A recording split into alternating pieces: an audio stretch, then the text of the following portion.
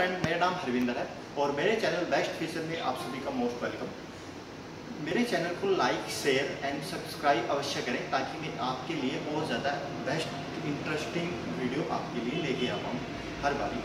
तो फ्रेंड मैं वीडियो को ज़्यादा लंबा ना खींचते हुए, जो कि आज हम बात करने जा रहे हैं 55 इंच एलईडी के बारे में, कि वैसे तो नॉर्मली इस एलईडी के जो रिमोट होता है वैसे तो 43 इंच में भी सैमसंग के आजकल हर एक टीवी में यही रिमोट साथ में आता है।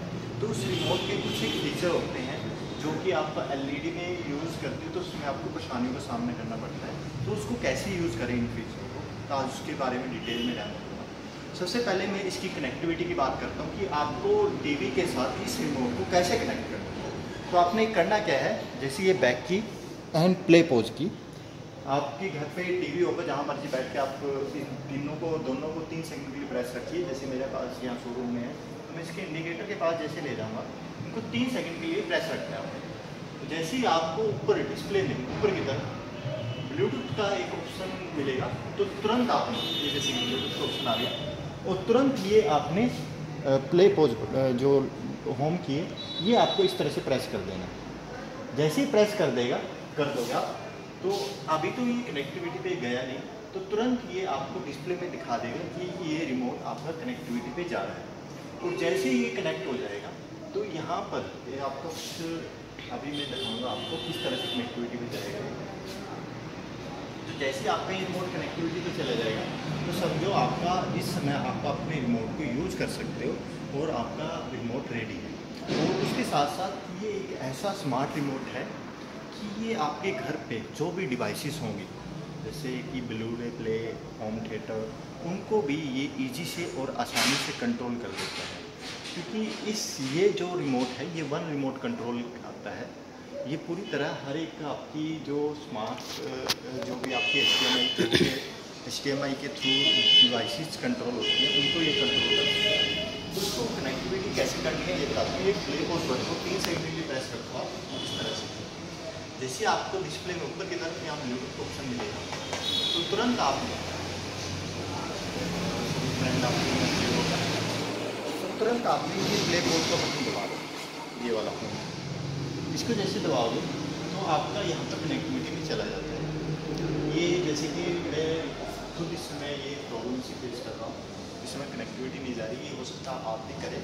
तो मैं इसीलिए मैं आपको बार बार इसलिए एक डीपली बताने जा रहा हूँ आज कि आपको इस तरह की प्रॉब्लम फेस करनी पड़ सकती है। ये प्रॉब्लम एक नॉर्मली होती है, ये कोई ज़्यादा वो नहीं कोई डीपली कोई ज़्यादा बड़ी प्रॉब्लम नहीं है। सिर्फ़ आपका कनेक्टिविटी आपसे प्रॉपर नहीं हो पा रही, उसके बारे में है, क्योंकि हमसे कई बार ये उस तरह से हो जाता है। तो फ्रेंड अभी इसको चलने दीजिए, इसकी हम वेट करेंगे। अभी एक दो एक दो मिनट के लिए ये जैसे समथिंग चल रही है इसको चलने दीजिए। या अपने आप नो डिवाइस फाउंड का ऑप्शन एरर दिखा देगा। तो जैसे ही एरर दिखाता है तो तुरंत फिर मैं अगेन इसको कनेक्टिविटी देने की कोशिश करूँगा। तो आपने इस समय ये क्या करना है? ये देखिए, ये नो डिवाइस फाउंड आ गया। तो आपने नो डिवाइस फाउंड आ रहा है तो आपको अगेन ये प्ले पोज का बटन जैसे ही आप इसको प्रेस करोगे ब्लूटूथ सर्च हो जाएगा। तुरंत ये बटन दबा देना। तो आइए फ्रेंड इसके बाद में जाता हूँ। ये मैंने दबा दिया तो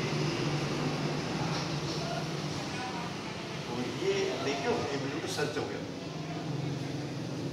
तो ब्लूटूथ सर्च होने के बाद आप फिर ये देखो सेम प्रॉब्लम फेस कर रहा ये देखते जाइए आप। तो ये भी हो सकता है, या फिर कई बार आपको अगर आपके रिमोट के अंदर सेल डले हैं तो इन सेल को एक बार रिमूव कीजिए इस तरह से इस तरह से।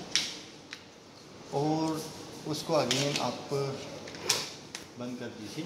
या फिर सेकंड कई बार आपका रिमोट में आजकल सेल नहीं डलते सोलर सेल वाला रिमोट आता है तो उसको पंद्रह सेकंड के लिए लॉन्ग टाइम प्रेस करके रखिए ये पावर ऑफ़ को।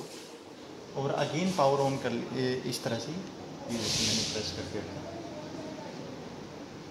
अब जैसे आप प्रेस करके रखोगे तो जैसे आपके टीवी के अंदर नो डिवाइस फाउंड आ जाता है तो अगेन आपने प्ले पोज प्रेस रखना है ऐसे करके। और तुरंत ही बटन दबा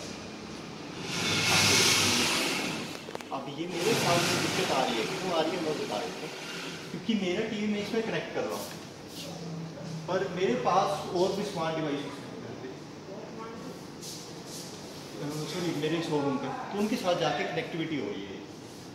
अब ये कनेक्टिविटी आप शोरूम में तो बच सकते हो, पर घर पे इस तरह की प्रॉब्लम बहुत कम आएगी आपको। ठीक है शोरूम में तो एक ही तरीका आप जो स्मार्ट डिवाइसेस हैं, उनको बंद कर दीजिए तो जिससे इनको कनेक्ट करना चाहते हो, आप वो कनेक्ट हो जाएगा। जैसे कि इसमें चल रहा है तो सर, मेरे पास फोर्टी थ्री इंच की लगी हुई है मैं साथ कनेक्ट कर देता हूँ। एक मिनट के लिए आप रखिए।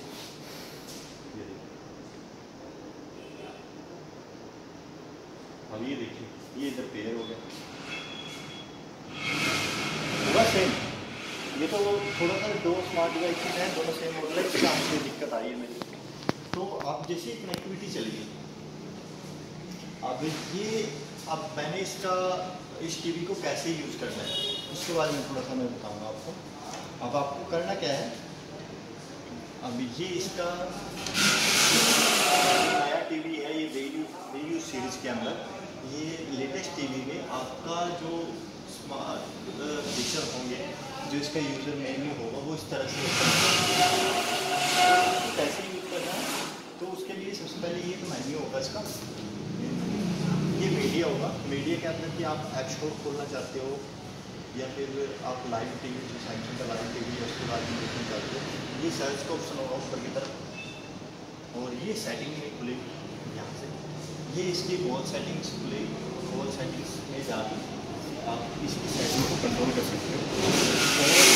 और सबसे बड़ी मेरे जितने भी मैंने कस्टमर को टीवी सेल किया उनको बहुत प्रॉब्लम का सामना करना पड़ता है। क्योंकि रिमोट से अचानक ही एसेसिबिलिटी के फीचर होता है एलईडी टीवी में तो वो ऑप्शन ऑन हो जाता है जिससे कि आपका टीवी बोलने लग जाता है। वॉल्यूम आपकी वॉल्यूम आप वॉल्यूम थर्टी ऐसे बोलने लग जाता है। उसको कैसे कंट्रोल करें तो सेटिंग में जाना है।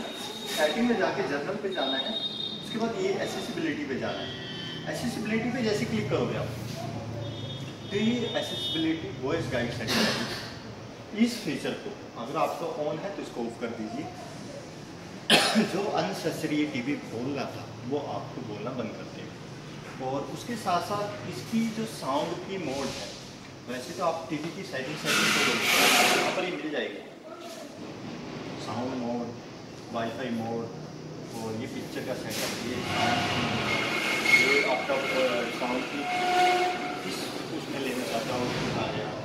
ये इसका ब्लूटूथ स्पीकर लिस्ट आ गया, इसी तरह से। ये गेम मोड आ गया। इनपुट डिवाइस मैनेजमेंट आ गया। इसके थ्रू कौन से डिवाइस मैनेजमेंट कंट्रोल किए। यहाँ से कंट्रोल कर सकते हो।